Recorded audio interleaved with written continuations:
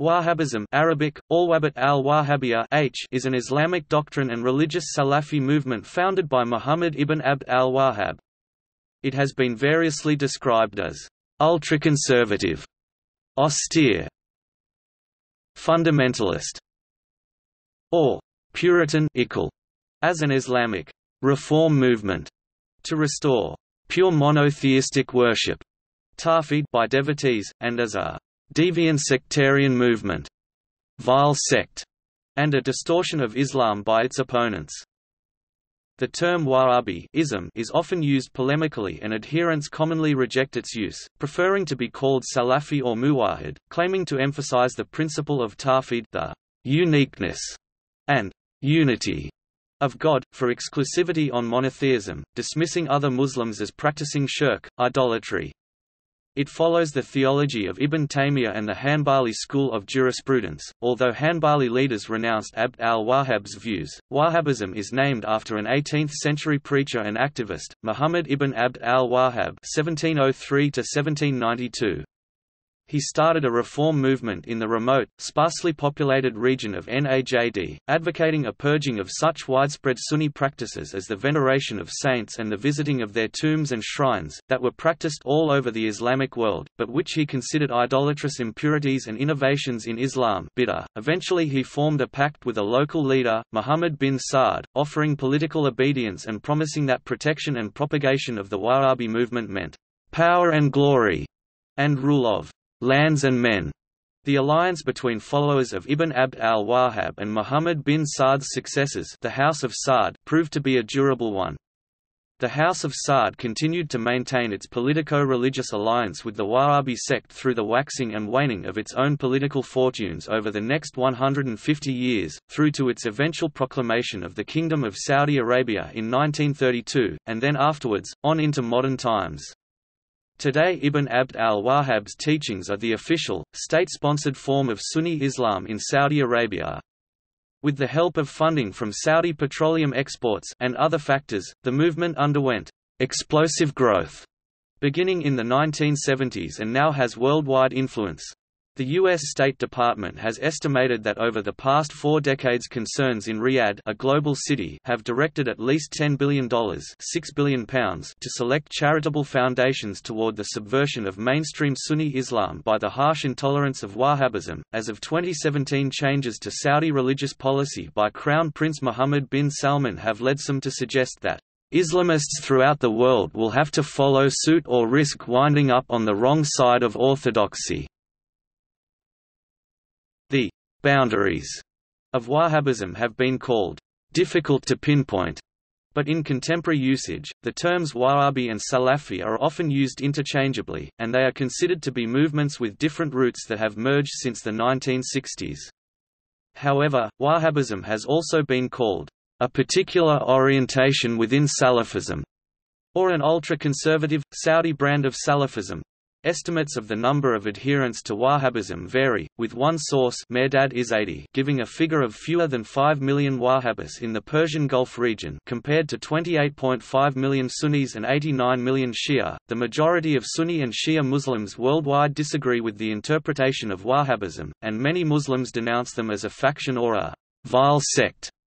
Islamic scholars, including those from the Al-Azhar University, regularly denounce Wahhabism with terms such as satanic faith. Wahhabism has been accused of being a source of global terrorism, inspiring the ideology of the Islamic State of Iraq and the Levant ISIL, and for causing disunity in Muslim communities by labeling Muslims who disagreed with the Wahhabi definition of monotheism as apostates takfir and justifying their killing. It has also been criticized for the destruction of historic shrines of saints, mausoleums, and other Muslim and non-Muslim buildings and artifacts.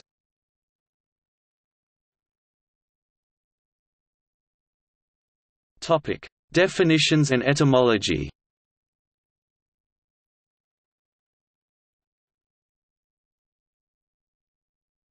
Topic: Definitions.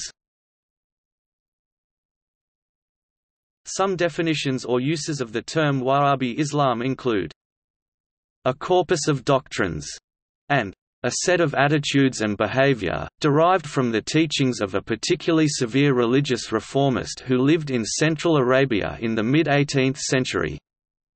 Gilles Kepel. Pure Islam. David Commins, paraphrasing supporters' definition, that does not deviate from Sharia law in any way and should be called Islam and not Wahhabism, King Salman bin Abdul Aziz, King of Saudi Arabia, a misguided creed that fosters intolerance, promotes simplistic theology, and restricts Islam's capacity for adaptation to diverse and shifting circumstances. David Commins, paraphrasing opponent's definition. A conservative reform movement, the creed upon which the Kingdom of Saudi Arabia was founded, and which has influenced Islamic movements worldwide. Encyclopedia of Islam and the Muslim World a sect dominant in Saudi Arabia and Qatar. With footholds in India, Africa, and elsewhere. With a steadfastly fundamentalist interpretation of Islam in the tradition of Ibn Hanbal. Cyril Glass An 18th-century reformist, revivalist movement for sociomoral reconstruction of society founded by Muhammad ibn Abd al-Wahhab. Oxford Dictionary of Islam Originally a literal revivification of Islamic principles that ignored the spiritual side of Islam, that rose on the wings of enthusiasm and longing and then sank down into the lowlands of Pharisaic self-righteousness. After gaining power and losing its longing and humility, Muhammad Asad. A political trend within Islam that has been adopted for power-sharing purposes, but cannot be called a sect because it has no special practices, nor special rites, and no special interpretation of religion that differ from the main body of Sunni Islam. Abdullah al-Ubaid, the former dean of the Islamic University of Medina and member of the Saudi Consultative Council. The true Salafist movement. Starting out as a theological reform movement, it had the goal of calling dawah people to restore the real meaning of tawhid oneness of God or monotheism and to disregard and deconstruct traditional disciplines and practices that evolved in Islamic history such as theology and jurisprudence and the traditions of visiting tombs and shrines of venerated individuals. Ahmad Moussalli a term used by opponents of Salafism in hopes of besmirching that movement by suggesting foreign influence and conjuring up images of Saudi Arabia. The term is most frequently used in countries where Salafis are a small minority of the Muslim community but have made recent inroads in converting the local population to Salafism. Quintan Wiktorowicz A blanket term used inaccurately to refer to any Islamic movement that has an apparent tendency toward misogyny, militantism, extremism, or strict and literal interpretation of the Quran and Hadith. Natana J. DeLong Bas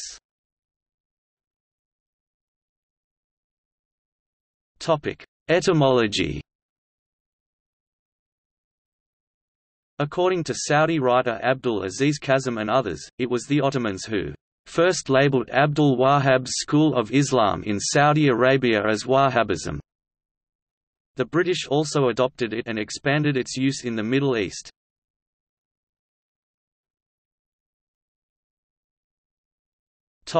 Naming controversy, Wahhabis, Muwahhidin, and Salafis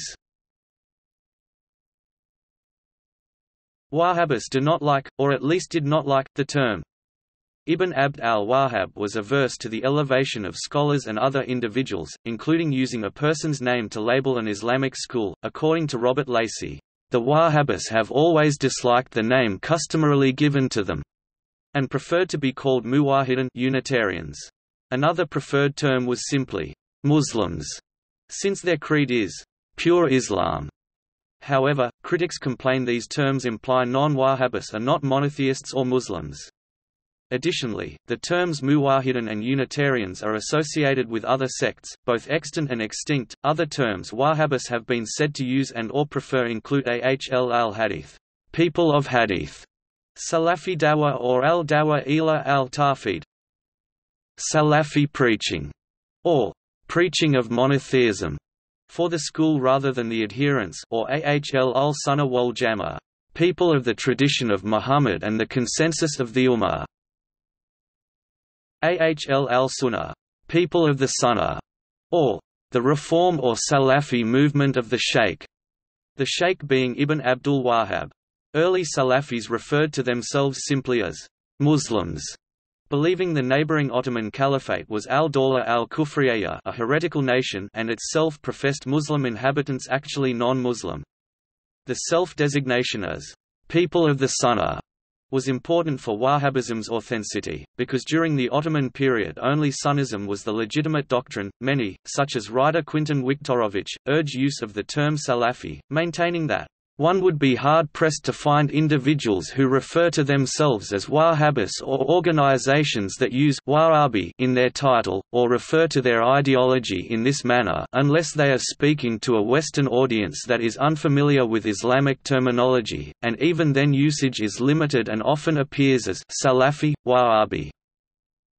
A New York Times journalist writes that Saudis abhor the term Wahhabism feeling it sets them apart and contradicts the notion that Islam is a monolithic faith. Saudi King Salman bin Abdulaziz al Saud for example has attacked the term as a doctrine that doesn't exist here Saudi Arabia, and challenged users of the term to locate any deviance of the form of Islam practiced in Saudi Arabia from the teachings of the Quran and prophetic hadiths. Ingrid Mattson argues that Wahhabism is not a sect. It is a social movement that began 200 years ago to rid Islam of rigid cultural practices that had been acquired over the centuries. On the other hand, according to authors at Global Security and Library of Congress the term is now commonplace and used even by Wahhabi scholars in the Najd, a region often called the heartland of Wahhabism. Journalist Karen House calls Salafi a more politically correct term for Wahhabi, in any case, according to Lacey, none of the other terms have caught on, and so like the Christian Quakers, Wahhabis have remained known by the name first assigned to them by their detractors.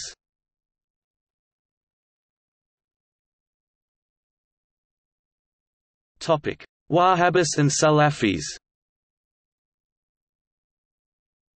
Many scholars and critics distinguish between Wahhabi and Salafi, According to American scholar Christopher M. Blanchard, Wahhabism refers to a conservative Islamic creed centered in and emanating from Saudi Arabia, while Salafiyya is a more general puritanical Islamic movement that has developed independently at various times and in various places in the Islamic world.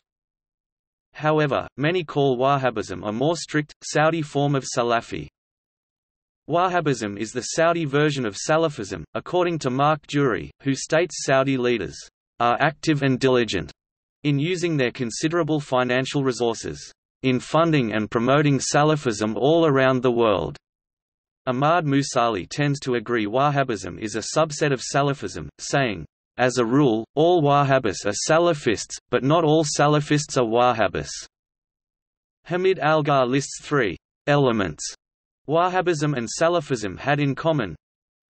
Above all disdain for all developments subsequent to al-Salaf al-Saleh the first two or three generations of Islam.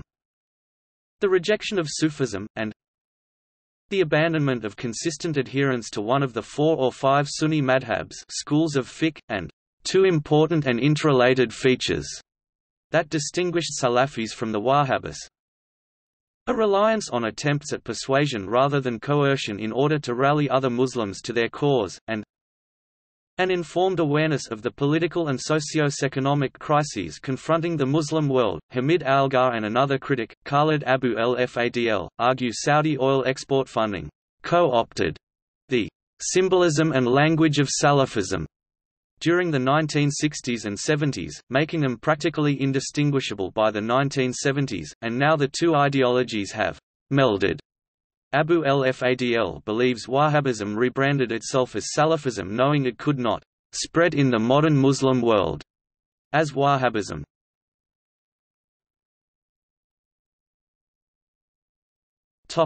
History The Wahhabi mission started as a revivalist movement in the remote, arid region of Najd. With the collapse of the Ottoman Empire after World War I, the Al Saud dynasty, and with it Wahhabism, spread to the holy cities of Mecca and Medina. After the discovery of petroleum near the Persian Gulf in 1939, it had access to oil export revenues, revenue that grew to billions of dollars. This money, spent on books, media, schools, universities, mosques, scholarships, fellowships, lucrative jobs for journalists, academics and Islamic scholars, gave Wahhabism a preeminent position of strength in Islam around the world, in the country of Wahhabism's founding, and by far the largest and most powerful country where it is the state religion, Wahhabi ulama gained control over education, law, public morality and religious institutions in the 20th century, while permitting as a trade-off Doctrinally objectionable actions such as the import of modern technology and communications, and dealings with non-Muslims, for the sake of the consolidation of the power of its political guardian, the Al Saud dynasty. However, in the last couple of decades of the 20th century several crises worked to erode Wahhabi credibility in Saudi Arabia and the rest of the Muslim world, the November 1979 seizure of the Grand Mosque by militants, the deployment of U.S. troops in Saudi Arabia during the 1991 Gulf War against Iraq, and the 9-11-2001 al-Qaeda attacks on New York and Washington, in each case the Wahhabi establishment was called on to support the dynasty's efforts to suppress religious dissent, and in each case it did, exposing its dependence on the Saudi dynasty and its often unpopular policies. In the West, the end of the Cold War and the anti-communist alliance with conservative, religious Saudi Arabia, and the 9-11 attacks created enormous distrust towards the kingdom and especially its official religion.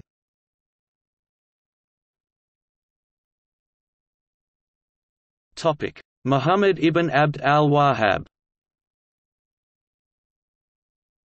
The founder of Wahhabism, Muhammad ibn Abd al-Wahhab, was born around 1702–203 in the small oasis town of Uyayna in the Najd region, in what is now central Saudi Arabia. He studied in Basra, in what is now Iraq, and possibly Mecca and Medina while there to perform Hajj, before returning to his hometown of Uyayna in 1740. There he worked to spread the call for what he believed was a restoration of true monotheistic worship the pivotal idea of Ibn Abd al-Wahhab's teaching was that people who called themselves Muslims but who participated in alleged innovations were not just misguided or committing a sin, but were outside the pale of Islam altogether, as were Muslims who disagreed with his definition. This included not just lax, unlettered, nomadic Bedu, but also Shias and Sunnis such as the Ottomans. Such infidels were not to be killed outright, but to be given a chance to repent first. With the support of the ruler of the town, Uthman ibn Muammar, he carried out some of his religious reforms in Uyayna, including the demolition of the tomb of Zayd ibn al-Khattab, one of the Sahaba companions of the Prophet Muhammad, and the stoning to death of an adulterous woman. However, a more powerful chief Suleiman ibn Muhammad ibn Guraya pressured Uthman ibn Muammar to expel him from Uyayna.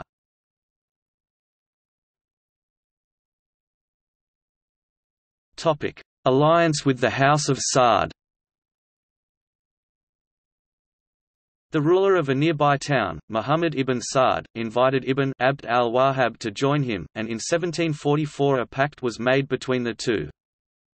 Ibn Saud would protect and propagate the doctrines of the Wahhabi mission, while Ibn Abdul Wahhab would support the ruler, supplying him with glory and power. Whoever championed his message, Ibn Abdul Wahhab promised will, by means of it, rule the lands and men.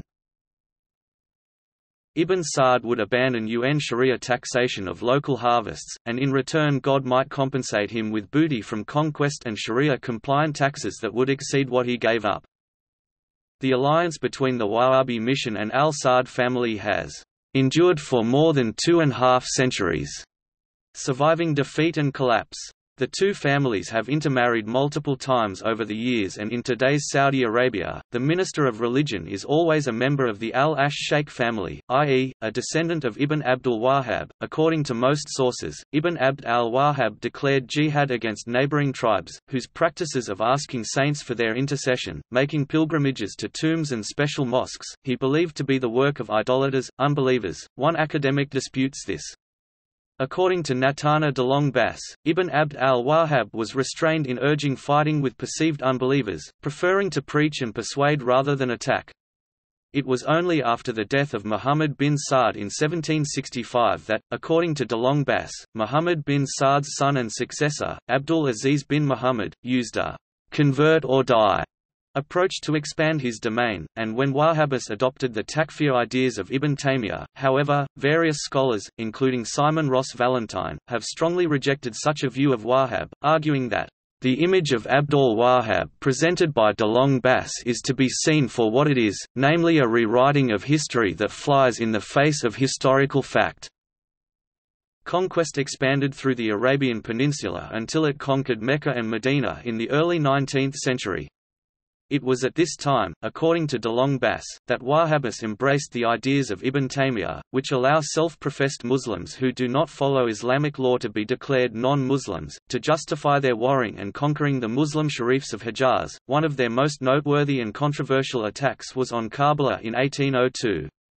There, according to a Wahhabi chronicler Uthman b. Abdullah b. Bishr, the Muslims as the Wahhabis referred to themselves, not feeling the need to distinguish themselves from other Muslims, since they did not believe them to be Muslims, scaled the walls, entered the city, and killed the majority of its people in the markets and in their homes. They destroyed the dome placed over the grave of al-Hussein and took whatever they found inside the dome and its surroundings. The grill surrounding the tomb which was encrusted with emeralds, rubies, and other jewels, Different types of property, weapons, clothing, carpets, gold, silver, precious copies of the Quran.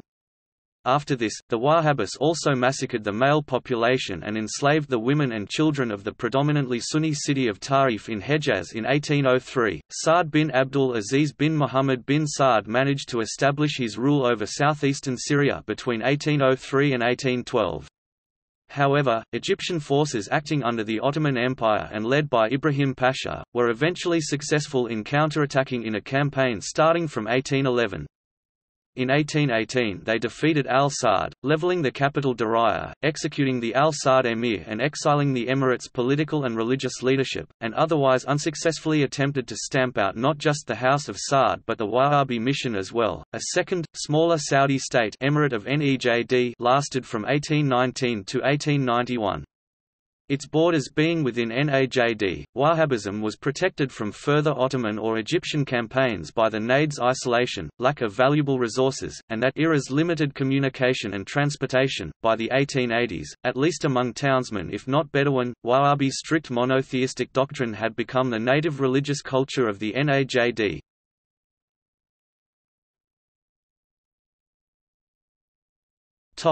Abdul Aziz ibn Saud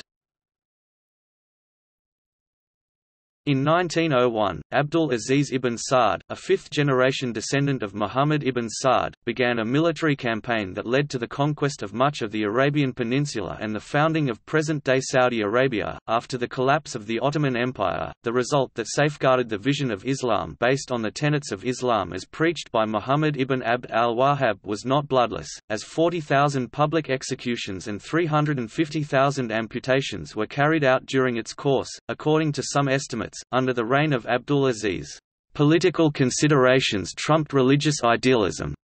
Favored by pious Wahhabis.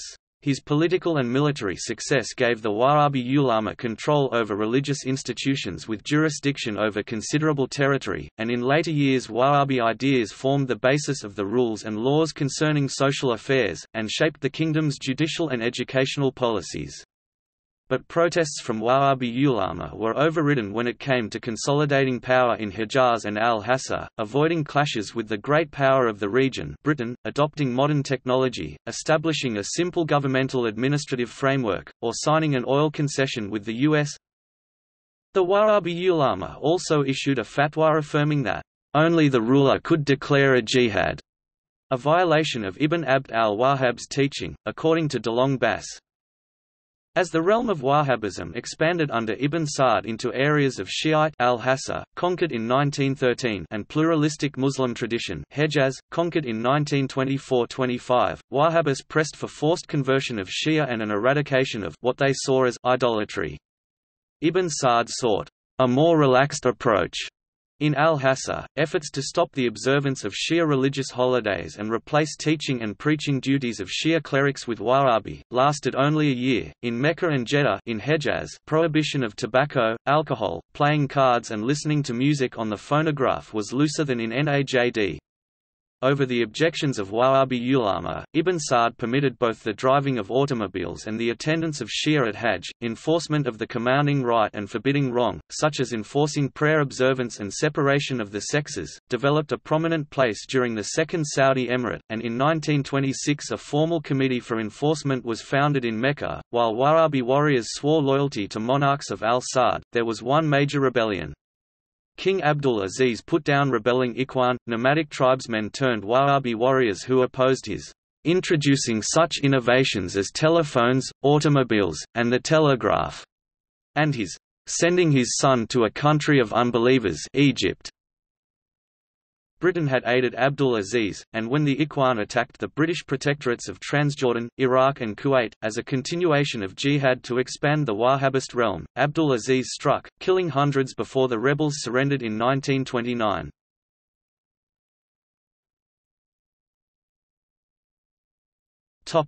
Connection with the outside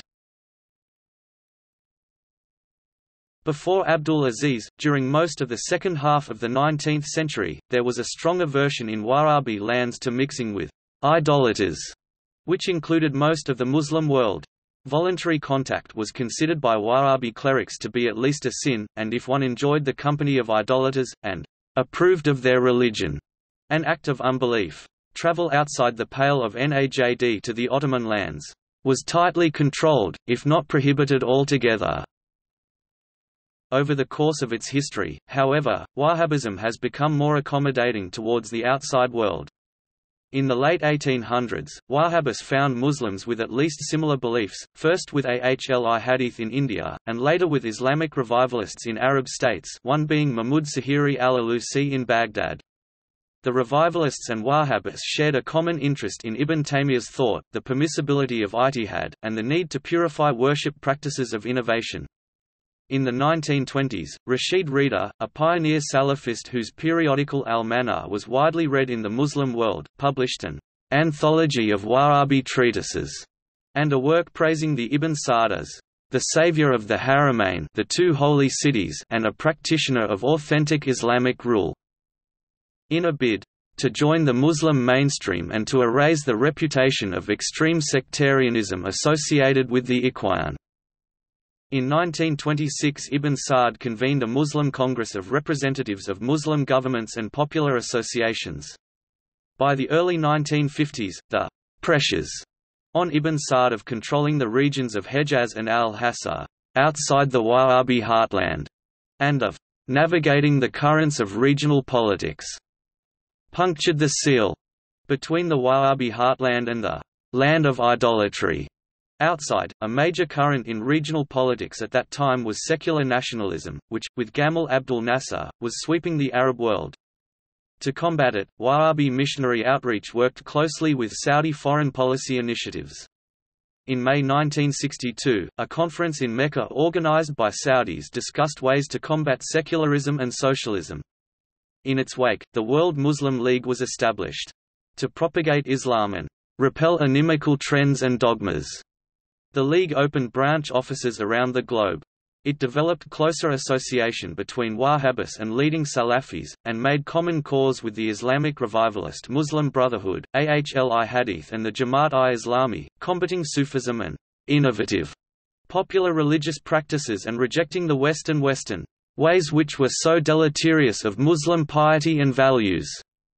Missionaries were sent to West Africa, where the League funded schools, distributed religious literature, and gave scholarships to attend Saudi religious universities.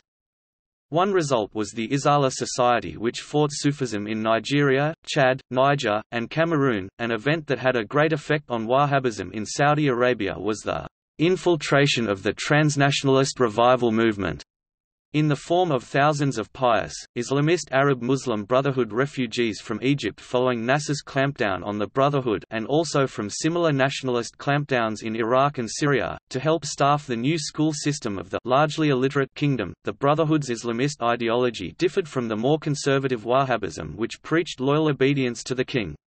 The Brotherhood dealt in what one author Robert Lacey called change-promoting concepts like social justice and anti-colonialism, and gave a radical, but still apparently safe, religious twist to the Wahhabi values Saudi students had absorbed in childhood. With the Brotherhood's hands-on, radical Islam, jihad became a practical possibility today. Not just part of history, the Brethren were ordered by the Saudi clergy and government not to attempt to proselytize or otherwise get involved in religious doctrinal matters within the kingdom, but nonetheless, took control of Saudi Arabia's intellectual life by publishing books and participating in discussion circles and salons held by princes.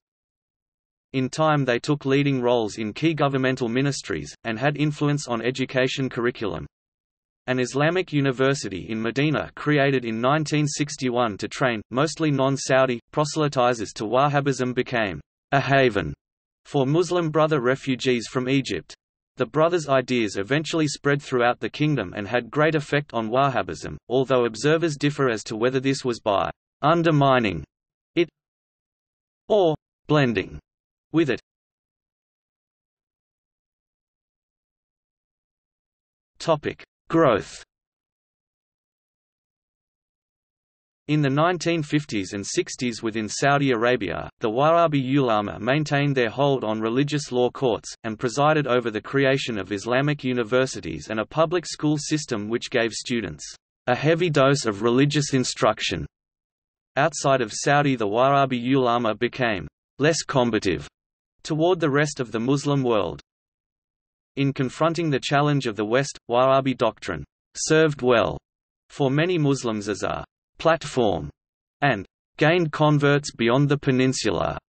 A number of reasons have been given for this success, the growth in popularity and strength of both Arab nationalism although Wahhabis opposed any form of nationalism as an ideology, Saudis were Arabs, and their enemy the Ottoman Caliphate was ethnically Turkish, and Islamic reform specifically reform by following the example of those first three generations of Muslims known as the Salaf, the destruction of the Ottoman Empire which sponsored their most effective critics, the destruction of another rival, the Khalifa in Hejaz, in 1925, not least in importance was the money Saudi Arabia earned from exporting oil.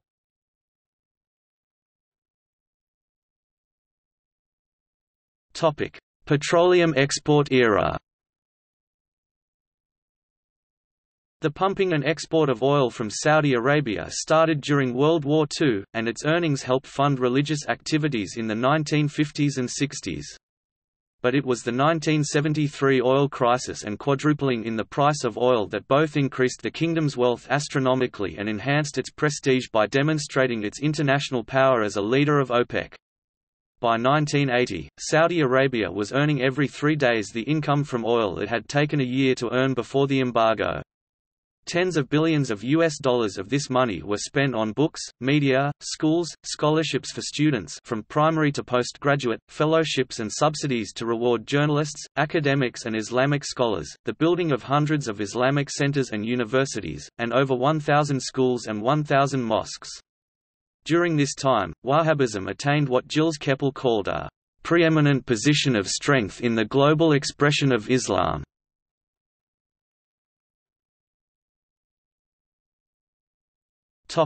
Afghanistan Jihad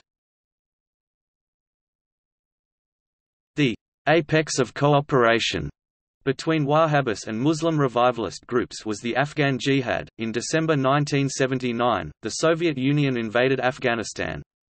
Shortly thereafter, Abdullah Yusuf Azzam, a Muslim brother cleric with ties to Saudi religious institutions, issued a fatwa declaring defensive jihad in Afghanistan against the atheist Soviet Union. Fard Ain, a personal or individual obligation for all Muslims. The edict was supported by Saudi Arabia's Grand Mufti, highest religious scholar, Abd al-Aziz ibn Baz, among others. Between 1982 and 1992, an estimated 35,000 individual Muslim volunteers went to Afghanistan to fight the Soviets and their Afghan regime. Thousands more attended frontier schools teeming with former and future fighters. Somewhere between 12,000 and 25,000 of these volunteers came from Saudi Arabia. Saudi Arabia and the other conservative Gulf monarchies also provided considerable financial support to the jihad $600 million a year by 1982. By 1989, Soviet troops had withdrawn and within a few years the pro-Soviet regime in Kabul had collapsed. This Saudi, Wahhabi religious triumph further stood out in the Muslim world because many Muslim-majority states and the PLO were allied with the Soviet Union and did not support the Afghan jihad. But many jihad volunteers most famously Osama bin Laden returning home to Saudi Arabia and elsewhere were often radicalized by Islamic militants who were much more extreme than their Saudi sponsors.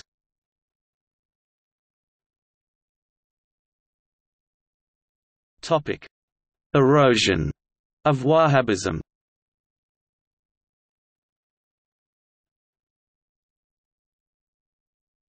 Topic: Islamic Revolution in Iran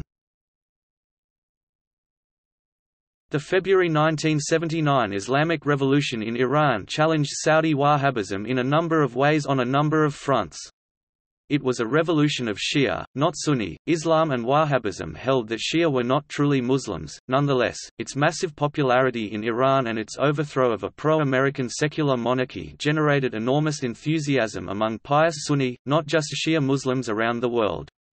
Its leader Ruhollah Khomeini preached that monarchy was against Islam and America was Islam's enemy, and called for the overthrow of al-Saud family. In 1987 public address Khomeini declared that these vile and ungodly Wahhabis are like daggers which have always pierced the heart of the Muslims from the back, and announced that Mecca was in the hands of a band of heretics. All this spurred Saudi Arabia, a kingdom allied with America, to redouble their efforts to counter Iran and spread Wahhabism around the world, and reversed any moves by Saudi leaders to distance itself from Wahhabism or soften its ideology.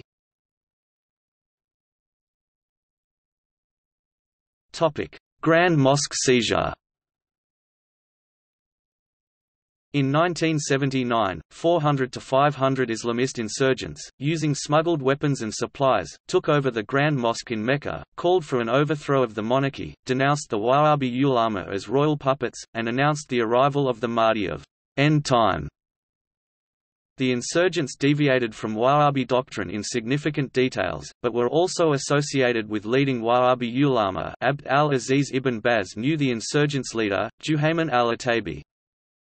Their seizure of Islam's holiest site, the taking hostage of hundreds of Hajj pilgrims, and the deaths of hundreds of militants, security forces and hostages caught in crossfire during the two-week-long retaking of the mosque, all shocked the Islamic world and did not enhance the prestige of al-Saud's custodians of the mosque. The incident also damaged the prestige of the Wahhabi establishment. Saudi leadership sought and received Wahhabi fatwa to approve the military removal of the insurgents and after that to execute them, but Wahhabi clerics also fell under suspicion for involvement with the insurgents. In part as a consequence, Sahwa clerics influenced by Brethren's ideas were given free rein. Their ideology was also thought more likely to compete with the recent Islamic revolutionism, Third Worldism of the Iranian Revolution. Although the insurgents were motivated by religious Puritanism, the incident was not followed by a crackdown on other religious purists, but by giving greater power to the ulama and religious conservatives to more strictly enforce Islamic codes in myriad ways, from the banning of women's images in the media to adding even more hours of Islamic studies in school and giving more power and money to the religious police to enforce conservative conservative rules of behavior.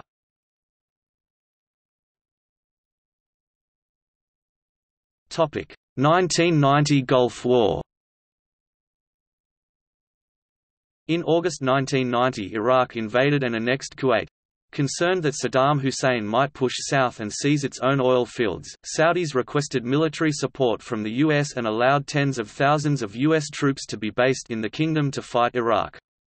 But what amounted to seeking infidels' assistance against a Muslim power was difficult to justify in terms of Wahhabi doctrine. Again, Saudi authorities sought and received a fatwa from leading Wahhabi ulama supporting their action. The fatwa failed to persuade many conservative Muslims and ulama who strongly opposed U.S. presence, including the Muslim Brotherhood-supported Sahwa awakening movement that began pushing for political change in the kingdom. Outside the kingdom, Islamist revival groups that had long received aid from Saudi and had ties with Wahhabis Arab jihadists, Pakistani and Afghan Islamists supported Iraq, not Saudi. During this time and later, many in the Wahhabi, Salafi movement such as Osama bin Laden not only no longer looked to the Saudi monarch as an emir of Islam, but supported his overthrow, focusing on jihad against the US and what they believe are other enemies of Islam. This movement is sometimes called Neo-Wahhabi or Neo-Salafi.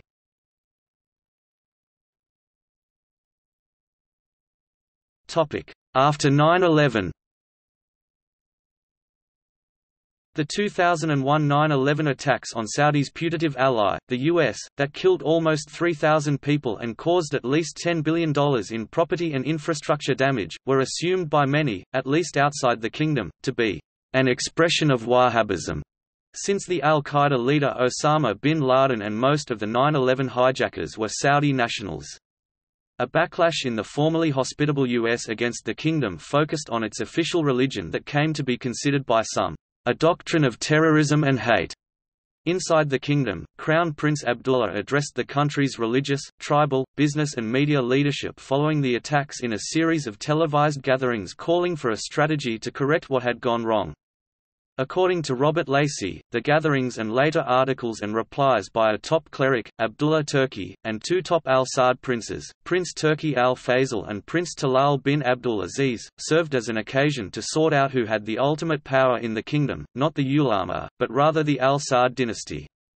They declared that Muslim rulers were meant to exercise power, while religious scholars were meant to advise. In 2003-04, Saudi Arabia saw a wave of al-Qaeda-related suicide bombings, attacks on non-Muslim foreigners. About 80% of those employed in the Saudi private sector are foreign workers and constitute about 30% of the country's population, and gun battles between Saudi security forces and militants.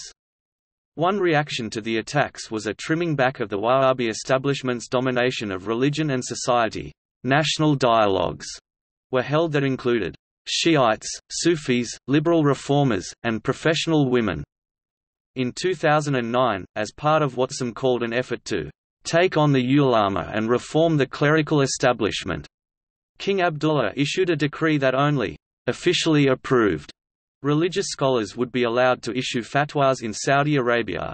The king also expanded the Council of Senior Scholars containing officially approved religious scholars to include scholars from Sunni schools of Islamic jurisprudence other than the Hanbali madhab, Shafi'i, Hanafi and Maliki schools. Relations with the Muslim Brotherhood have deteriorated steadily. After 9-11, the then Interior Minister Prince Nayef blamed the Brotherhood for extremism in the kingdom, and he declared it guilty of betrayal of pledges and ingratitude, and the source of all problems in the Islamic world, after it was elected to power in Egypt. In March 2014 the Saudi government declared the Brotherhood a terrorist organization in April 2016, Saudi Arabia stripped its religious police, who enforce Islamic law on the society and are known as the Commission for the Promotion of Virtue and Prevention of Vice, from their power to follow, chase, stop, question, verify identification, or arrest any suspected persons when carrying out duties. They were told to report suspicious behavior to regular police and anti-drug units, who would decide whether to take the matter further.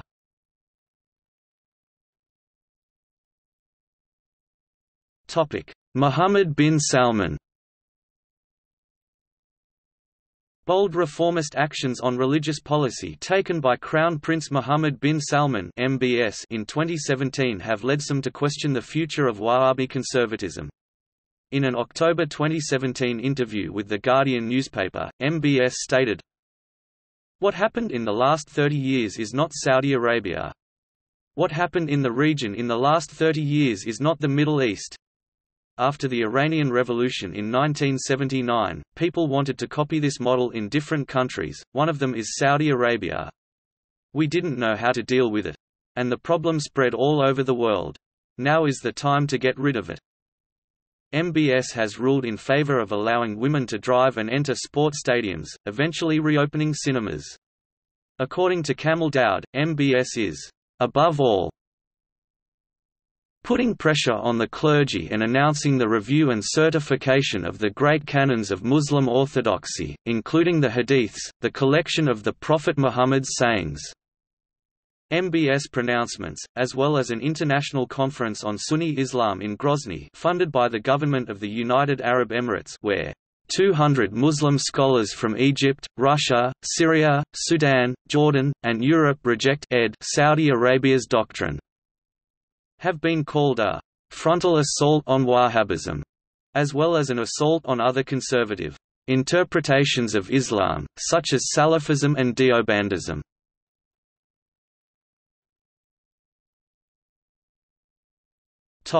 Memoirs of Mr. Hempher. A widely circulated but discredited apocryphal description of the founding of Wahhabism, known as Memoirs of Mr. Hempher, the British spy to the Middle East other titles have been used, alleges that a British agent named Hempher was responsible for the creation of Wahhabism.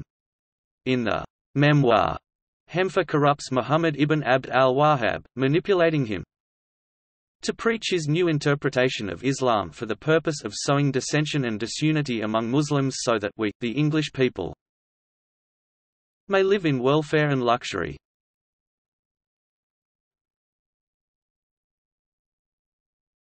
Topic: Practices.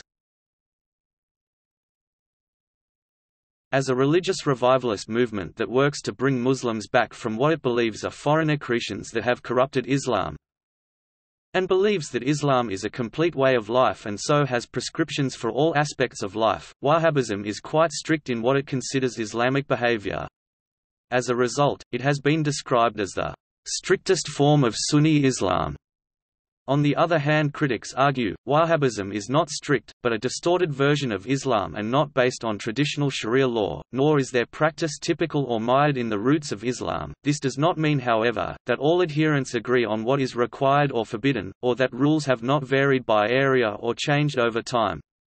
In Saudi Arabia the strict religious atmosphere of Wahhabi doctrine is visible in the conformity in dress, public deportment, and public prayer, and makes its presence felt by the wide freedom of action of the religious police clerics in mosques, teachers in schools, and judges who are religious legal scholars in Saudi courts.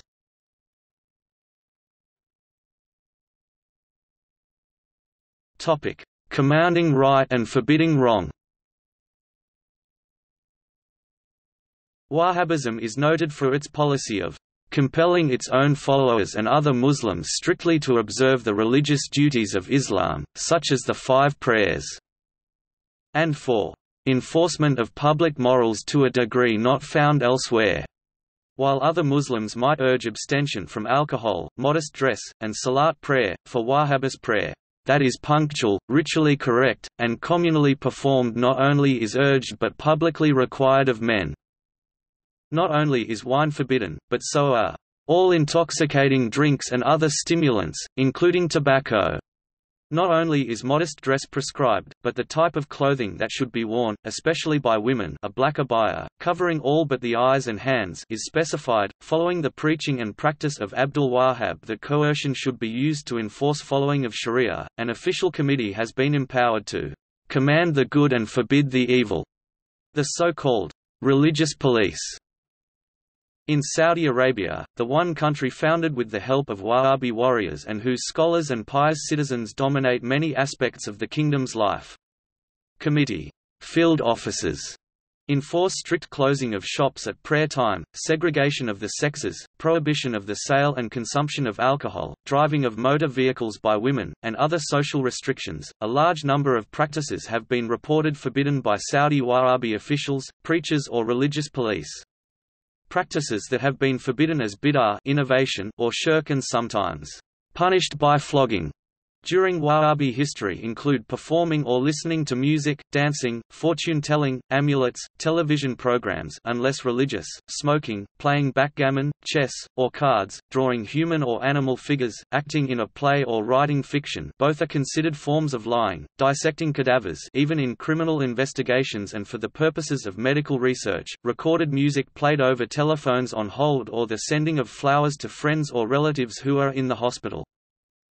Common Muslim practices Wahhabis believe are contrary to Islam include listening to music in praise of Muhammad, praying to God while visiting tombs including the tomb of Muhammad, celebrating Mawlid birthday of the Prophet, the use of ornamentation on or in mosques. The driving of motor vehicles by women is allowed in every country but Wahhabi-dominated Saudi Arabia and dream interpretation, practiced by the famously strict Taliban, is discouraged by Wahhabis. Wahhabism emphasizes Thaqafah Islamiyah, or Islamic culture and the importance of avoiding non-Islamic cultural practices and non-Muslim friendship no matter how innocent these may appear, on the grounds that the Sunnah forbids imitating non-Muslims. Foreign practices sometimes punished and sometimes simply condemned by Wahhabi preachers as un-Islamic, include celebrating foreign days such as Valentine's Day, or Mother's Day shaving, cutting or trimming of beards, giving of flowers, standing up in honor of someone, celebrating birthdays including the prophets, keeping or petting dogs. Wahhabi scholars have warned against taking non-Muslims as friends, smiling at or wishing them well on their holidays. Wahhabis are not in unanimous agreement on what is forbidden as sin. Some Wahhabi preachers or activists go further than the official Saudi Arabian Council of Senior Scholars in forbidding what they believe to be sin. Several Wahhabis have declared football forbidden for a variety of reasons including it is a non-Muslim, foreign practice, because of the revealing uniforms and because of the foreign non-Muslim language used in matches. The Saudi Grand Mufti, on the other hand has declared football permissible halal. Senior Wahhabi leaders in Saudi Arabia have determined that Islam forbids the traveling or working outside the home by a woman without their husband's permission, permission which may be revoked at any time, on the grounds that the different physiological structures and biological functions of the two sexes mean that each is assigned a distinctive role to play in the family. As mentioned before, Wahhabism also forbids the driving of motor vehicles by women. Sexual intercourse out of wedlock may be punished with beheading, although sex out of wedlock was permissible with a female slave until the practice of slavery was banned in 1962 Prince Bandar bin Sultan was the product of a brief encounter between his father Prince Sultan bin Abdul Aziz, the Saudi defense minister for many years, and his slave, a black serving woman. Despite this strictness, senior Wahhabi scholars of Islam in the Saudi kingdom have made exceptions in ruling on what is haram. Foreign non-Muslim troops are forbidden in Arabia, except when the king needed them to confront Saddam Hussein in 1990. Gender mixing of men and women is forbidden, and fraternization with non-Muslims is discouraged, but not at King Abdullah University of Science and Technology (KAUST). Movie theaters and driving by women are forbidden, except at the Aramco compound in eastern Saudi, populated by workers for the company that provides almost all the government's revenue. The exceptions made at KAUST are also in effect at Aramco. More general rules of what is permissible have changed over time. Abdul Aziz ibn Saud imposed Wahhabi doctrines and practices in a progressively gentler form. As his early 20th-century conquests expanded his state into urban areas, especially the Hejaz. After vigorous debate Wahhabi religious authorities in Saudi Arabia allowed the use of paper money in 1951, the abolition of slavery in 1962, education of females 1964, and use of television 1965. Music, the sound of which once might have led to summary execution, is now commonly heard on Saudi radios. Minarets for mosques and use of funeral markers, which were once forbidden, are now allowed. Prayer attendance which was once enforced by flogging, is no longer.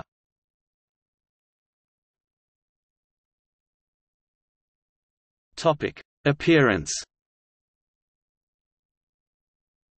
The uniformity of dress among men and women in Saudi Arabia compared to other Muslim countries in the Middle East has been called a striking example of Wahhabism's outward influence on Saudi society, and an example of the Wahhabi belief that Outward appearances and expressions are directly connected to one's inward state.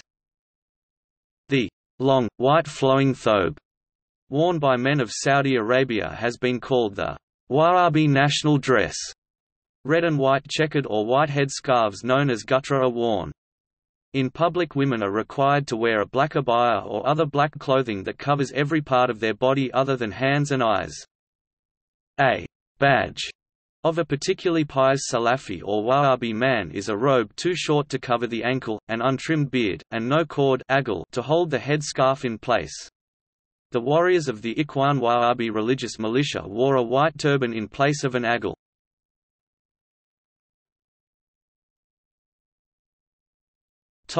Wahhabiyya mission Wahhabi mission, or Dawa Wahhabiyya, is the idea of spreading Wahhabism throughout the world. Tens of billions of dollars have been spent by the Saudi government and charities on mosques, schools, education materials, scholarships, throughout the world to promote Islam and the Wahhabi interpretation of it. Tens of thousands of volunteers and several billion dollars also went in support of the jihad against the atheist communist regime governing Afghanistan.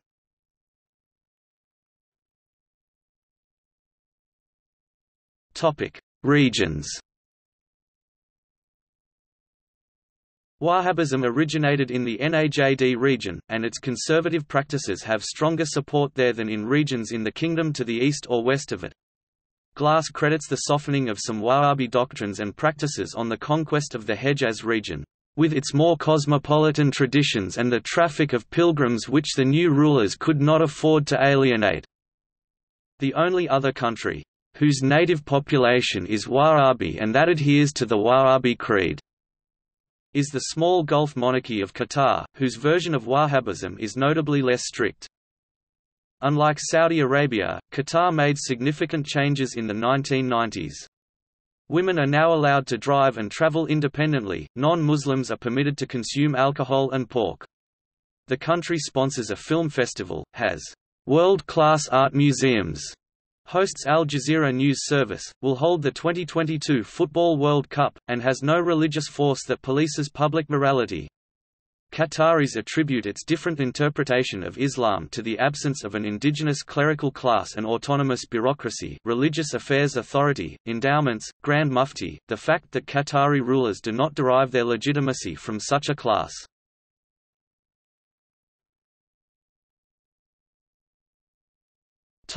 Views Adherents to the Wahhabi movement identify as Sunni Muslims. The primary Wahhabi doctrine is affirmation of the uniqueness and unity of God tawhid, and opposition to shirk violation of tawhid, the one unforgivable sin, according to Ibn Abd al-Wahhab. They call for adherence to the beliefs and practices of the Salaf exemplary early Muslims. They strongly oppose what they consider to be heterodox doctrines, particularly those held by the vast majority of Sunnis and Shiites, and practices such as the veneration of prophets and saints in the Islamic tradition. They emphasize reliance on the literal meaning of the Quran and Hadith, rejecting rationalistic theology kalam. Wahhabism has been associated with the practice of takfir labeling Muslims who disagree with their doctrines as apostates. Adherents of Wahhabism are favorable to derivation of new legal rulings so long as it is true to the essence of the Quran, Sunnah and understanding of the Salaf.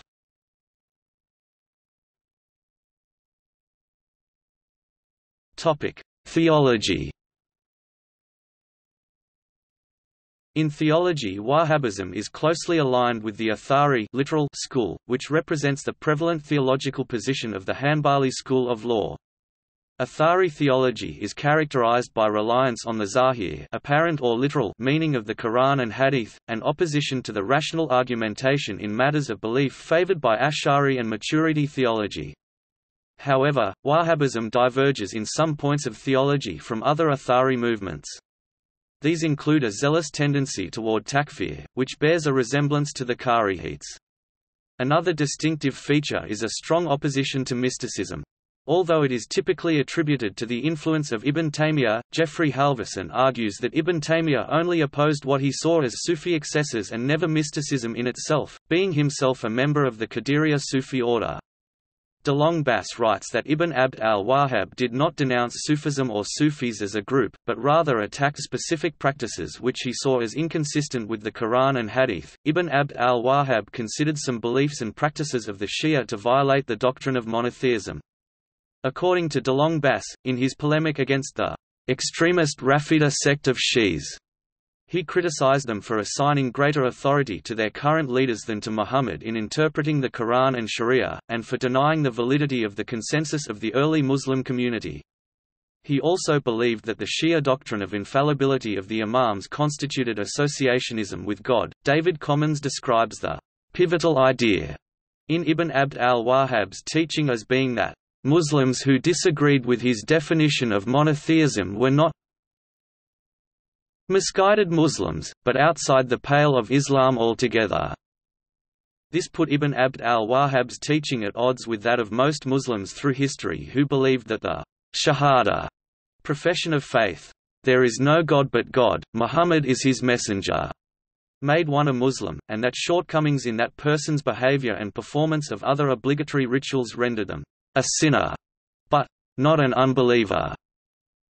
Muhammad ibn Abd al-Wahhab did not accept that view. He argued that the criterion for one's standing as either a Muslim or an unbeliever was correct worship as an expression of belief in one God. Any act or statement that indicates devotion to a being other than God is to associate another creature with God's power, and that is tantamount to idolatry shirk.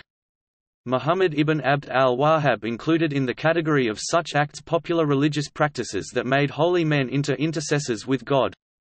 That was the core of the controversy between him and his adversaries, including his own brother.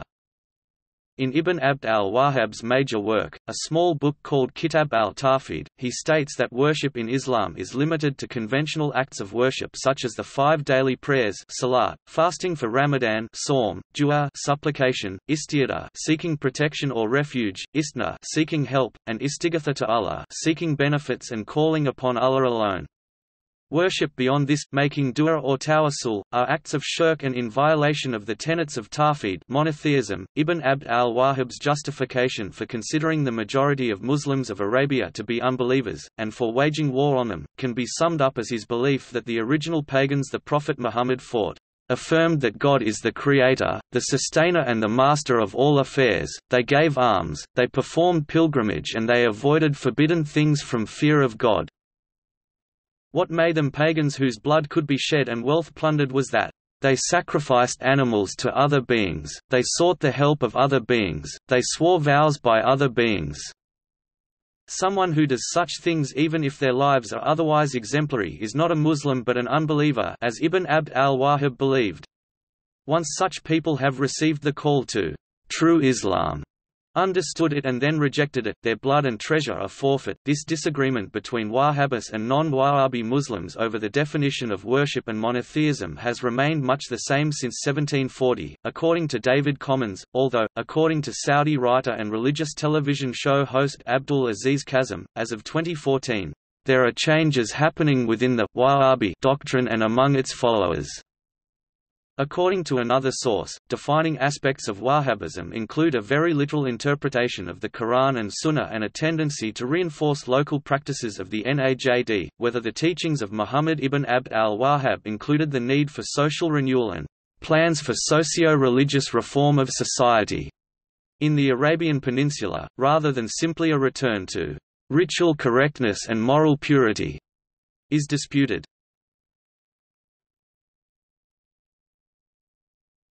Topic: Jurisprudence fiqh.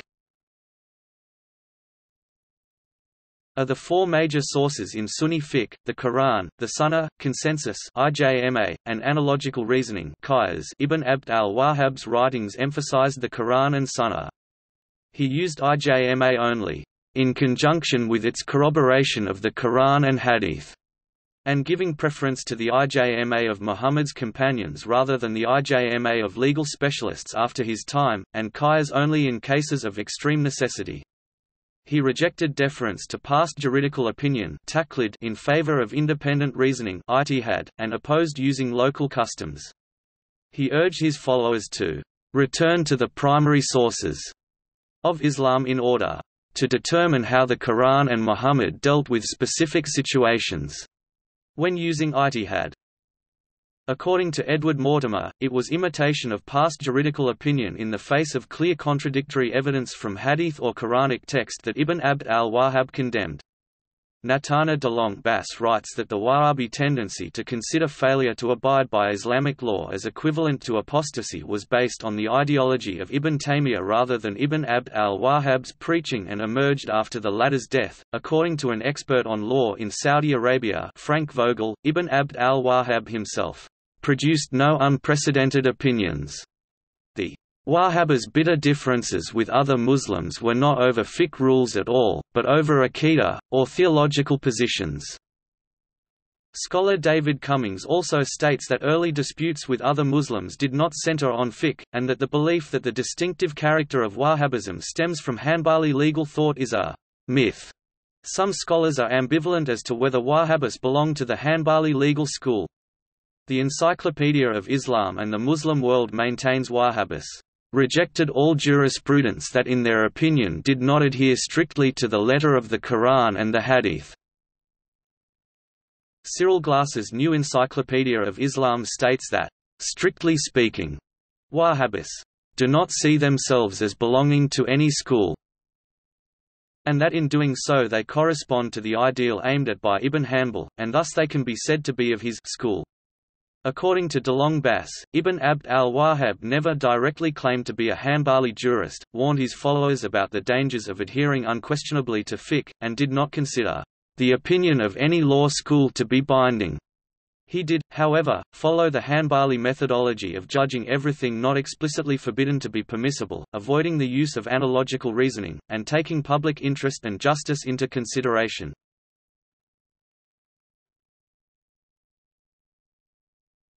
Topic: Loyalty and disassociation.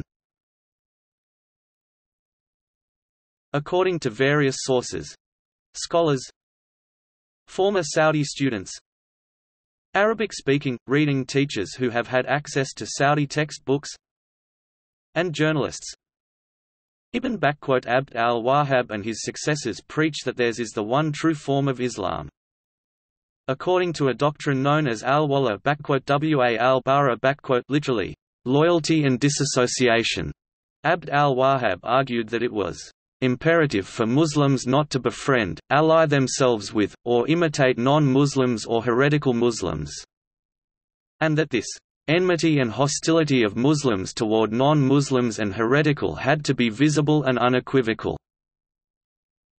Even as late as 2003, entire pages in Saudi textbooks were devoted to explaining to undergraduates that all forms of Islam except Wahhabism were deviation, although, according to one source Hamid Algar, Wahhabis have discreetly concealed this view from other Muslims outside Saudi Arabia.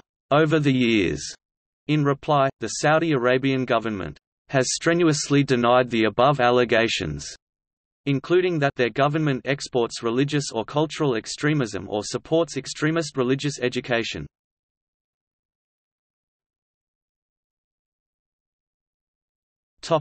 Politics According to Ibn Abd al-Wahhab there are three objectives for Islamic government and society, to believe in Allah, enjoin good behavior, and forbid wrongdoing. This doctrine has been sustained in missionary literature, sermons, fatwa rulings, and explications of religious doctrine by Wahhabis since the death of Ibn Abd al-Wahhab. Ibn Abd al-Wahhab saw a role for the imam, responsible for religious matters, and the emir, in charge of political and military issues.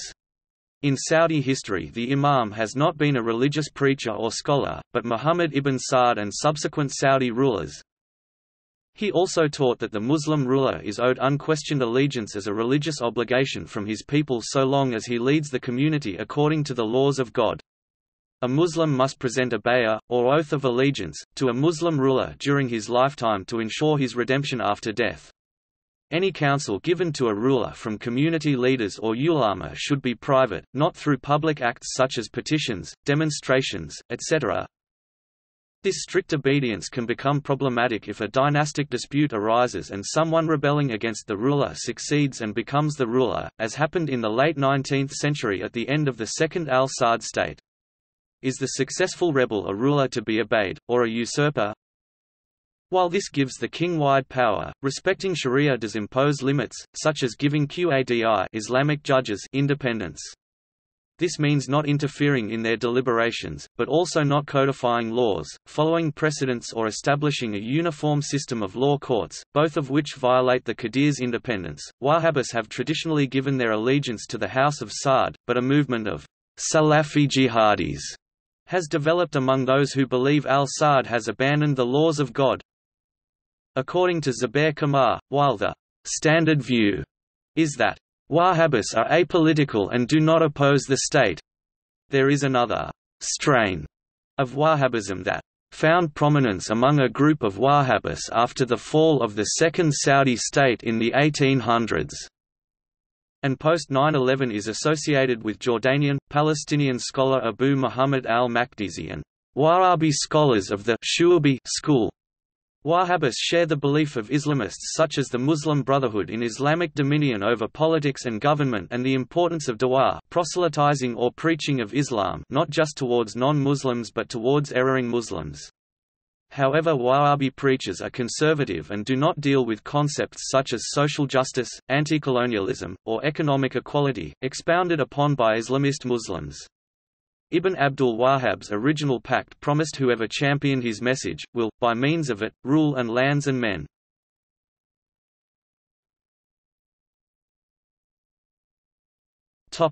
Population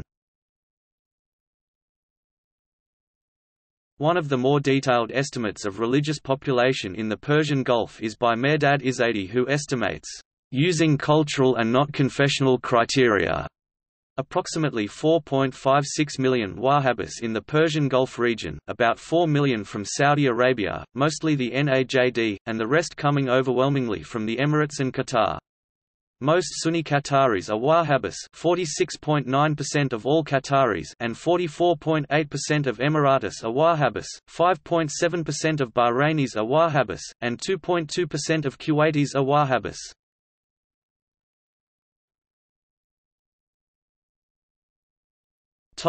Notable leaders. There has traditionally been a recognized head of the Wahhabi religious estate, often a member of al-Ash Sheikh a descendant of Muhammad ibn Abd al-Wahhab or related to another religious head. For example, Abd al-Latif was the son of Abd al-Rahman ibn Hassan. Muhammad ibn Abd al-Wahhab oh was the founder of the Wahhabi movement. Abd Allah ibn Muhammad ibn Muhammad ibn Abd al-Wahhab was the head of Wahhabism after his father retired from public life in 1773. After the fall of the First Saudi Emirate, Abd Allah went into exile in Cairo where he died. Sulayman ibn Abd Allah was a grandson of Muhammad ibn Abd al-Wahhab and author of an influential treatise that restricted travel to and residing in land of idolaters i.e. land outside of the Wahhabi area. Abd al-Rahman ibn Hassan was head of the religious estate in the Second Saudi Emirate. Abd al-Latif ibn Abd al-Rahman (1810–1876), head of religious estate in 1860 and early 1870s. Abd Allah ibn Abd al-Latif al-Ash Sheikh (1848–1921) was the head of religious estate during period of Rashidi rule and the early years of King Abd al-Aziz ibn Saud. Muhammad ibn Ibrahim al-Ash Sheikh (1893–1969) was the head of Wahhabism in mid-20th century. He has been said to have dominated the Wahhabi religious estate and enjoyed unrivaled religious authority. Ghalia al-Wahhabiyya was a female military leader who defended Mecca against recapture by Ottoman forces. In more recent times, two Wahhabi clerics have risen to prominence with no relation to Ibn Abd al-Wahhab. Abdul Aziz bin Baz (1910–1999) has been called the most prominent proponent of Wahhabism during his time. Muhammad ibn al-Uthaymin (1925–2001) is another giant According to David Dean Commins, no one has emerged with the same degree of authority in the Saudi religious establishment since their deaths.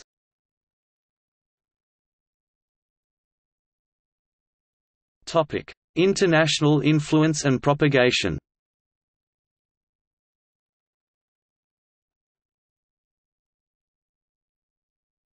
Topic: Explanation for influence. Khaled Abou El Fadl attributed the appeal of Wahhabism to some Muslims as stemming from Arab nationalism, which followed the Wahhabi attack on the Ottoman Empire Reformism, which followed a return to Salaf as Salaf as Destruction of the Hejaz Khilafah in 1925 Control of Mecca and Medina, which gave Wahhabis great influence on Muslim culture and thinking Oil, which after 1975 allowed Wahhabis to promote their interpretations of Islam using billions from oil export revenue. Scholar Gilles Kepel agrees that the tripling in the price of oil in the mid 1970s and the progressive takeover of Saudi Aramco in the 1974 to 1980 period provided the source of much influence of Wahhabism in the Islamic world. The financial clout of Saudi Arabia had been amply demonstrated during the oil embargo against the United States, following the Arab-Israeli War of 1973. This show of international power, along with the nation's astronomical increase in wealth, allowed Saudi Arabia's puritanical, conservative Wahhabite faction to attain a preeminent position of strength in the global expression of Islam. Saudi Arabia's impact on Muslims throughout the world was less visible than that of Khomeini's Iran, but the effect was deeper and more enduring. It reorganized the religious landscape by promoting those associations and ulamas who followed its lead, and then, by injecting substantial amounts of money into Islamic interests of all sorts, it won over many more converts. Above all, the Saudis raised a new standard, the virtuous Islamic civilization, as foil for the corrupting influence of the West.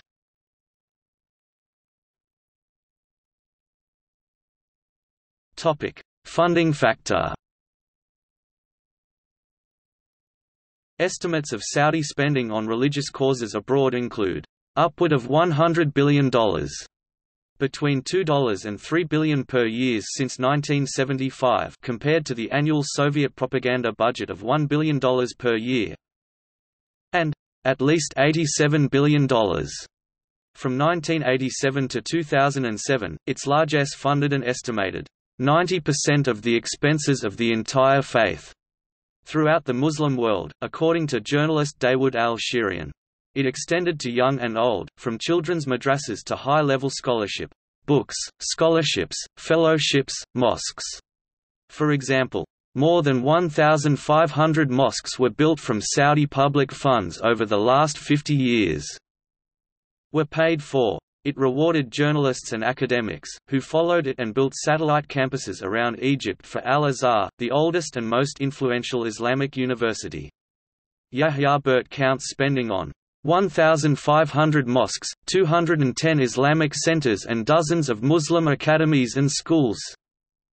This financial aid has done much to overwhelm less strict local interpretations of Islam, according to observers like Dawood al-Shirian and Lee Kuan Yew, and has caused the Saudi interpretation sometimes called petro-Islam to be perceived as the correct interpretation—or the gold standard of Islam in many Muslims' minds.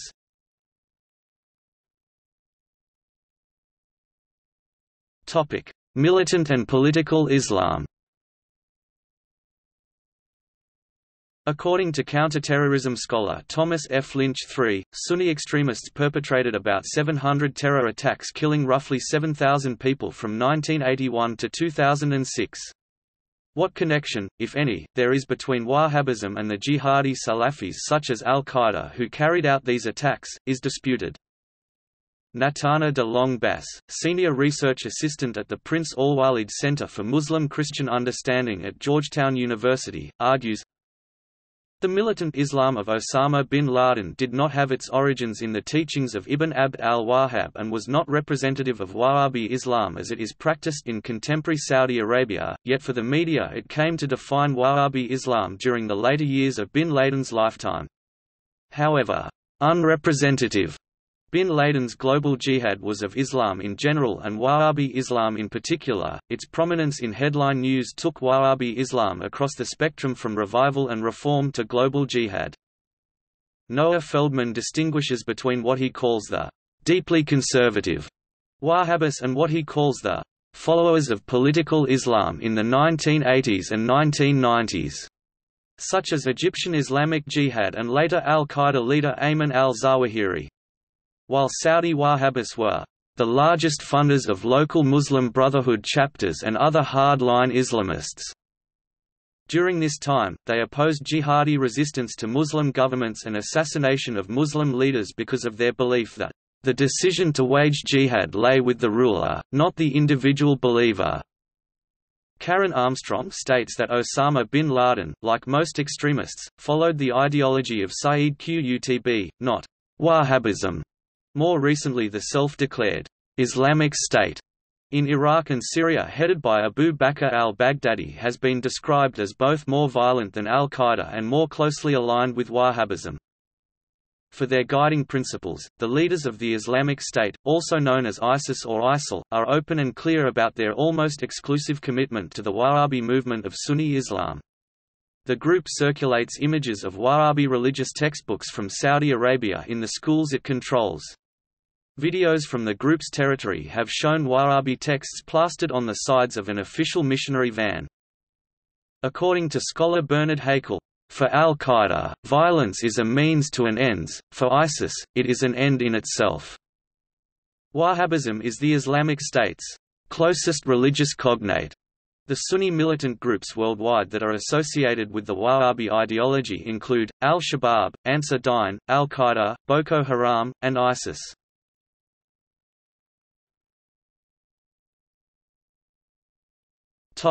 Criticism and controversy.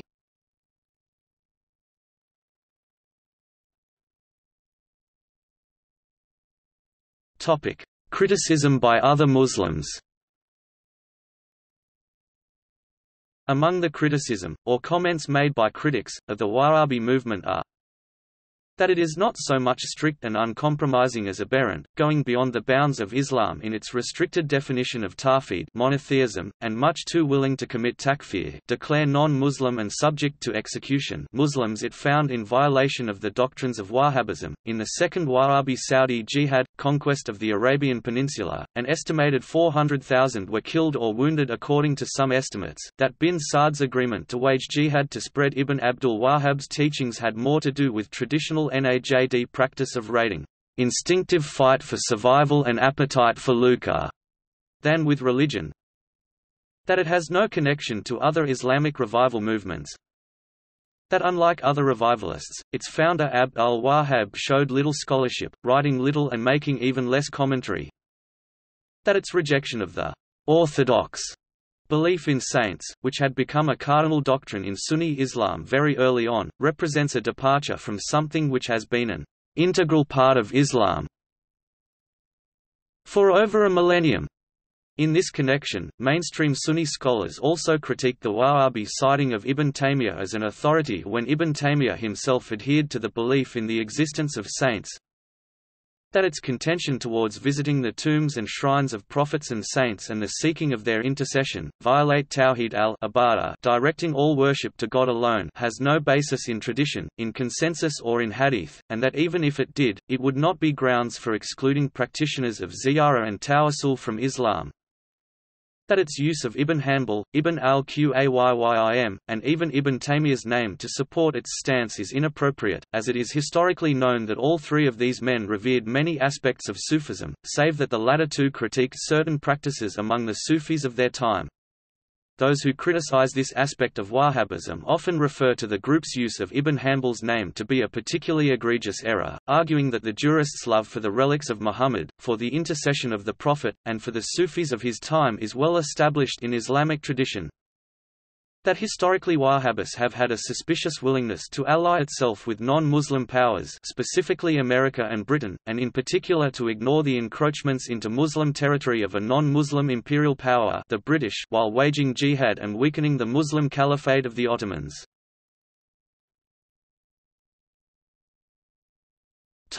Initial opposition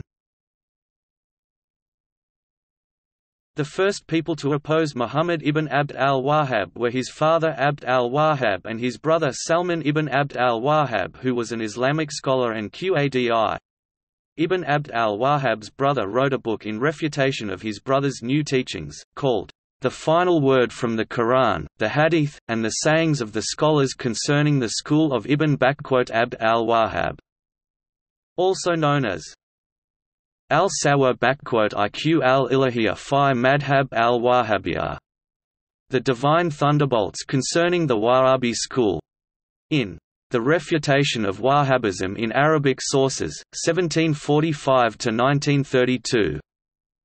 Hamadi Redissi provides original references to the description of Wahhabis as a divisive sect and outliers in communications between Ottomans and Egyptian Khedive Muhammad Ali. Reader see details refutations of Wahhabis by scholars muftis, among them Ahmed Barakat Tandadawan, who in 1743 describes Wahhabism as ignorance jahala.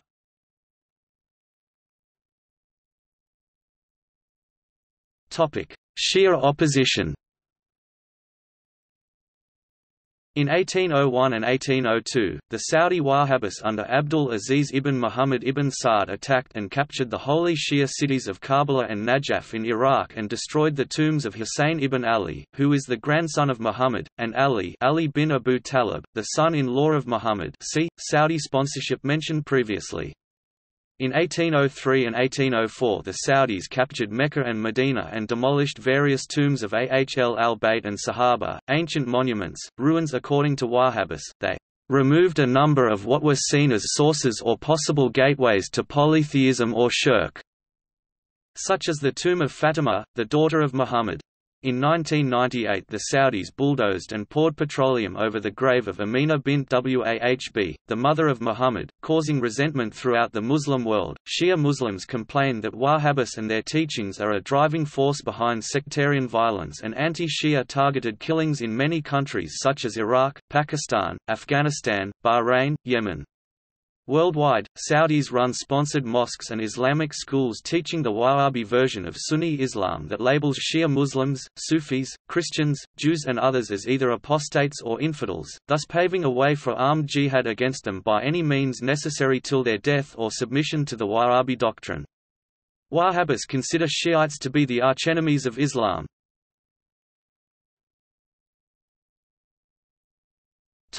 Sunni opposition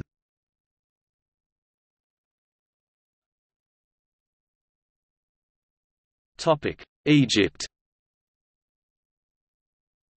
Wahhabism has been vehemently criticized by many mainstream Sunni Muslims and continues to be condemned by many prominent traditional Sunni scholars for being a heretical and violent innovation within Sunni Islam. Among traditional Sunni organizations worldwide that oppose the Wahhabi ideology is the Al-Azhar in Cairo, the faculty of which regularly denounces Wahhabism with terms such as satanic faith Regarding Wahhabism, the renowned Azharite Sunni scholar and intellectual Muhammad Abu Zahra said, "...the Wahhabis exaggerated and bowdlerized Ibn Taymiyyah's positions."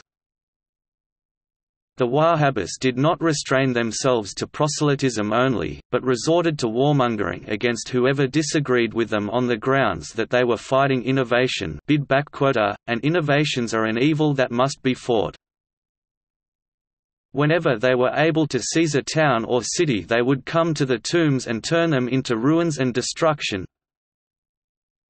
and they would destroy whatever mosques were with the tombs also. Their brutality did not stop there but they also came to whatever graves were visible and destroyed them also. And when the ruler of the Hejaz regions caved into them they destroyed all the graves of the companions and razed them to the ground. In fact, it has been noticed that the ulama of the Wahhabis consider their own opinions correct and not possibly wrong, while they consider the opinions of others wrong and not possibly correct. More than that, they consider what others than themselves do in the way of erecting tombs and circumambulating them, as near to idolatry. In this respect they are near the Khawarij who used to declare those who dissented with them apostate and fight them as we already mentioned. The Sunni conventional scholars for centuries rejected Ibn Taymiyyah's ideas however Wahhabism has made this controversial scholar its central figure. In the 18th century, the Hanafi scholar Ibn Abidin declared the Wahhabi movement of Muhammad ibn Abd al-Wahhab to be a modern-day manifestation of the Kharijites. Another important early rebuttal of Wahhabism came from the Sunni jurist Ibn Jirjis, who argued that supplicating the saints is permitted to Whoever declares that there is no God but God and prays toward Mecca. For, according to him, supplicating the saints is not a form of worship but merely calling out to them, and that worship at graves is not idolatry unless the supplicant believes that buried saints have the power to determine the course of events. These arguments were specifically rejected as heretical by the Wahhabi leader at the time.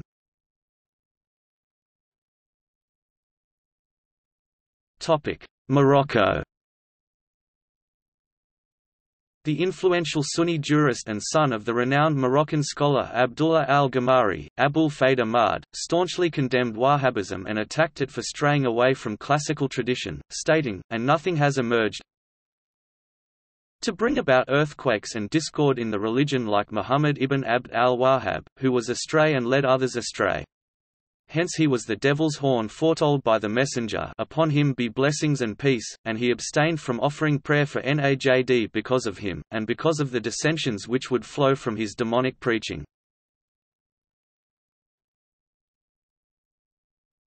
Kuwait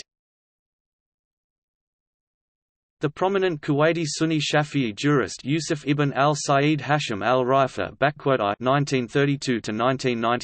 remained a severe critic of Wahhabism throughout his scholarly life, and penned a famous 57-point critique of the movement, titled Advice to the Scholars of Najd. He criticized the followers of the movement for causing discord among the Sunni community by their labeling all other Sunnis as «pagans», «innovators» and «deviants».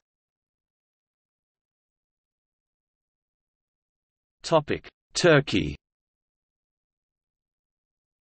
The transnational Turkish Gulen movement disagrees with Wahhabism furthermore blames it directly for the rise of Islamophobia in the world. The leader of the movement Fethullah Gulen denounces Arabs for conspiring against the Ottoman state as well as interpreting Islam strictly by their Arabian culture and Wahhabism.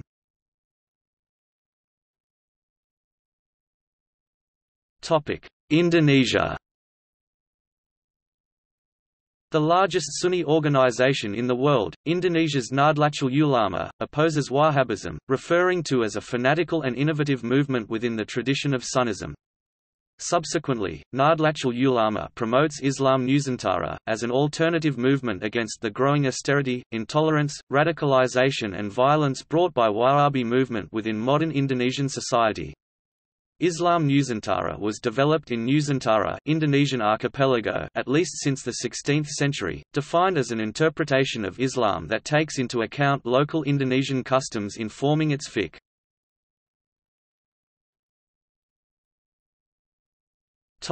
Malaysia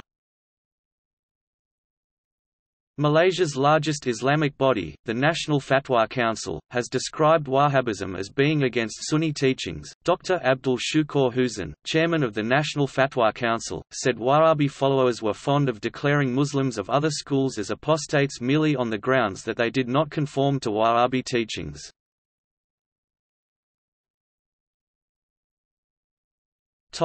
India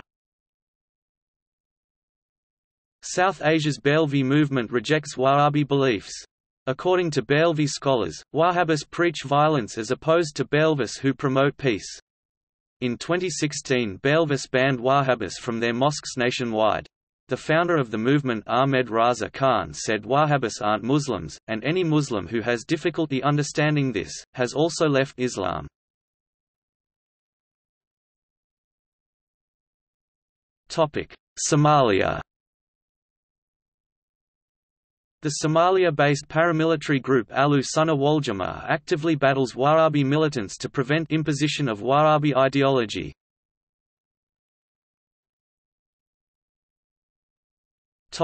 Lebanon The transnational Lebanon al-Ahbash movement uses takfir against Wahhabi and Salafi leaders. The head of al-Ahbash, Abdullah al-Harari says Wahhabis offer anthropomorphic descriptions of God thereby imitate polytheists.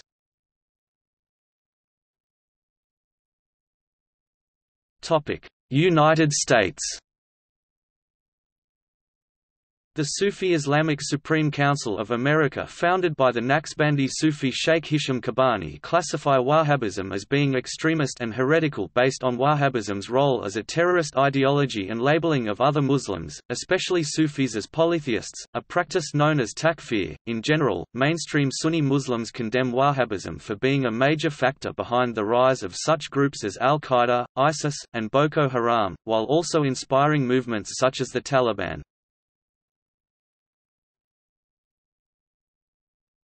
2016 joint fatwa in Chechnya. In late 2016, at a conference of over a hundred Sunni scholars in Chechnya, Al-Azhar's current dean, Ahmed El-Tayeb was said to have taken an uncompromising stand against Wahhabism and Islamic terrorism by defining Orthodox Sunnism as the Ash'arites and Maturidis adherents of the theological systems of Imam Abu Mansur al-Maturidi and Imam Abul Hasan al-Ash'ari, Followers of any of the four schools of thought Hanafi, Shafi'i, Maliki or Hanbali and also the followers of the Sufism of Imam Junaid al-Baghdadi in doctrines, manners and spiritual purification. Having said that, Sheikh Ahmad al-Tayyib excluded the Salafists from the term of Ahlul Sunnah Sunnis stating that Salafists, also known as Wahhabis, are not from among the Sunnis.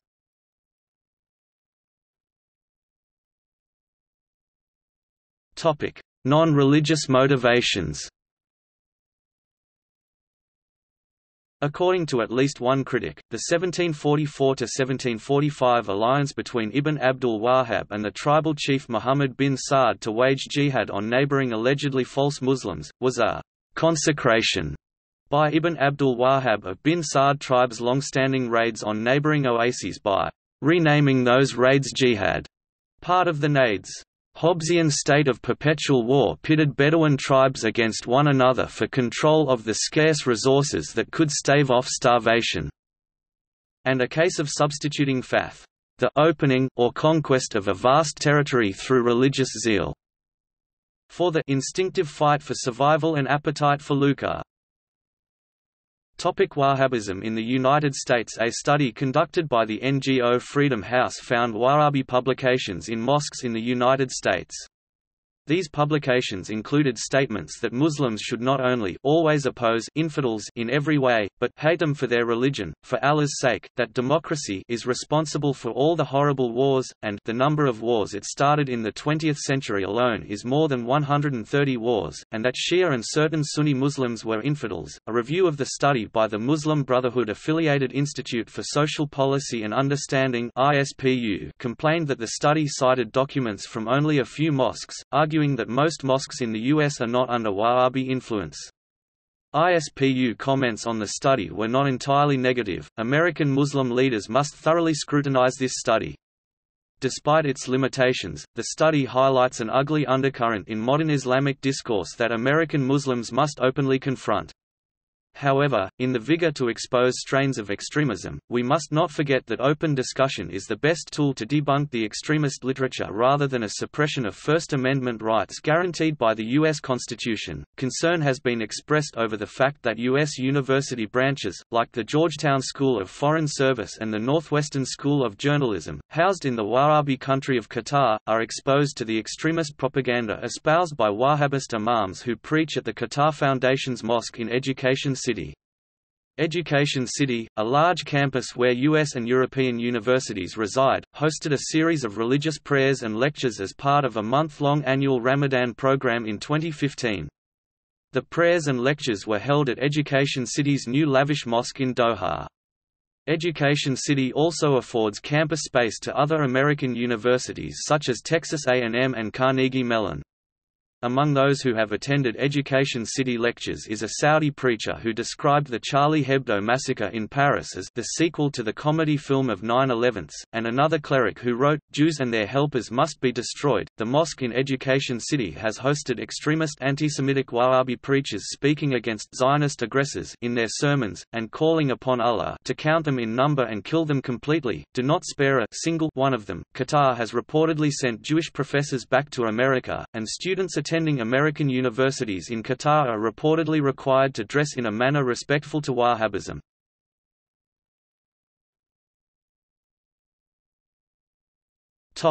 European expansion There has been much concern, expressed in both American and European media and scholarship, over the fact that Wahhabi countries like Saudi Arabia and Qatar have been financing mosques and buying up land all over Europe. Belgium, Ireland, France, Germany, the Netherlands, and Italy have all noted the growing influence that these Wahhabi countries have over territory and religion in Europe. The concern resonates at a local level in Europe as well. In 2016, the citizens of Brussels, Belgium overturned a 2015 decision to build a 600-person mosque next to the Qatari embassy. Fear largely emanates from the fact that Belgian citizens see the mosque as an opportunity for a Wahhabi country to exert control over Muslims in Europe, thus spreading the more extreme sect of Islam. Several articles have been written that list the Cork Islamic Cultural Centre as an example of one of many properties throughout Europe, paid for by the Qatari government, in an effort to spread an extreme and intolerant form of Islam known as Wahhabism. The As-Salam Mosque is located in Nantes. France was also a source on some controversy. Construction on the mosque began in 2009 and was completed in 2012. It is the largest mosque in its region in France. The mosque is frequently listed among examples of Qatar's efforts to export Wahhabism, their extreme and often intolerant version of Islam. Throughout Europe, some of the initiatives of the cultural Islamic center Sesto San Giovanni in Italy, funded by Qatar Charity, have also raised concerns due to its ties to Wahhabism. The Consortium Against Terrorist Finance said that the mosque has a history of affiliation and cooperation with extremists and terrorists. CATF notes that Qatar Charity was named as a major financial conduit for al-Qaeda in judicial proceedings following the attacks on the U.S. embassies in Kenya and Tanzania, supported al-Qaeda operatives in northern Mali, and was heavily involved in Syria. Munich Forum for Islam MFI, also known as the Center for Islam in Europe Munich ZIEM, was another controversial initiative largely financed by the Wahhabi Gulf country of Qatar. In 2013 German activists filed a lawsuit in opposition to the construction of the mosque. These activists expressed fear that the Qatari government aimed to build mosques all over Europe to spread Wahhabism. But the government quashed the lawsuit. In addition to this 2014 ruling, another court ordered an anti-mosque protester to pay a fine for defaming Islam when the protester claimed that Wahhabi Islam is incompatible with democracy. The Islamic Cultural Center in Luxembourg was also funded by Qatar in what some note is an attempt by Qatar to spread Wahhabism in Europe.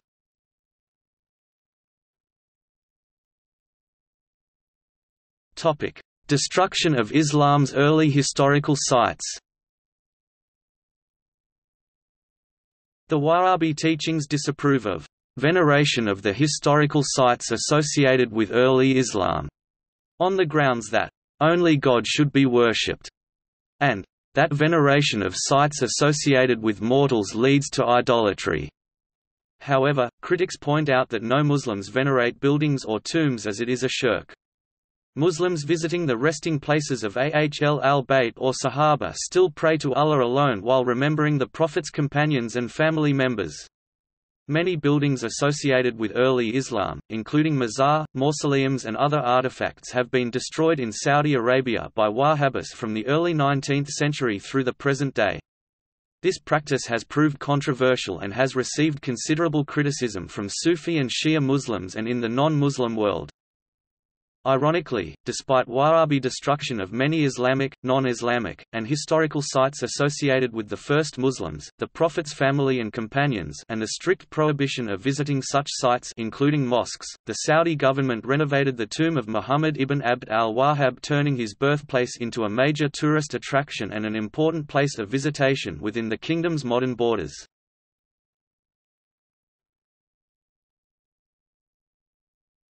Topic See also.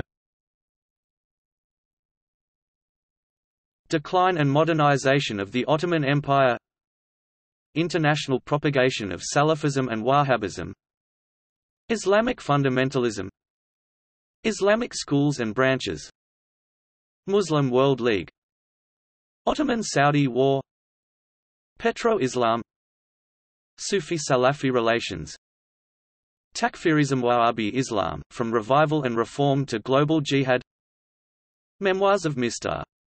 Hempher, the British spy to the Middle East